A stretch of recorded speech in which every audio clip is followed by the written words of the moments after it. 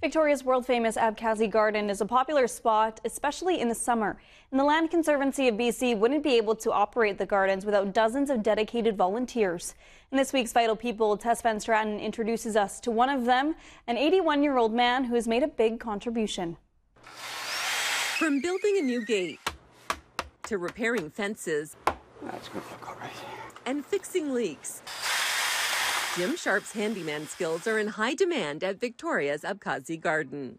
I kind of treat this place as my own, not that I own it or anything, but no, this is the way I've always been. If I have something that needs to be repaired in my own house or yard, I fix it. And that's the same when I walk around here.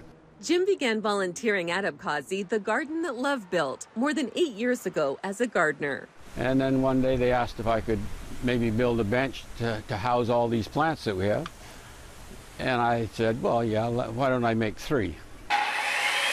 When I showed up with the tables, they looked at them and they said, could you make me seven more?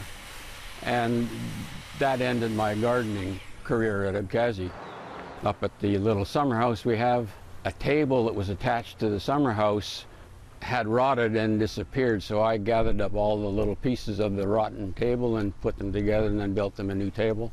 Jim is so awesome. He does so much for the garden and he's very modest about it, but there almost isn't anything he doesn't do for us. And that's why Abkhazi, which couldn't operate without dozens of dedicated volunteers, is recognizing Jim. One of the things that Jim has done is save this place an awful lot of money.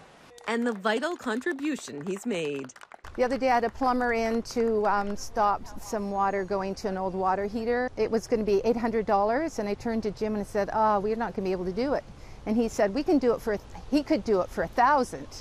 Well, he was joking. He did it for free, of course. So he's just been so good for us.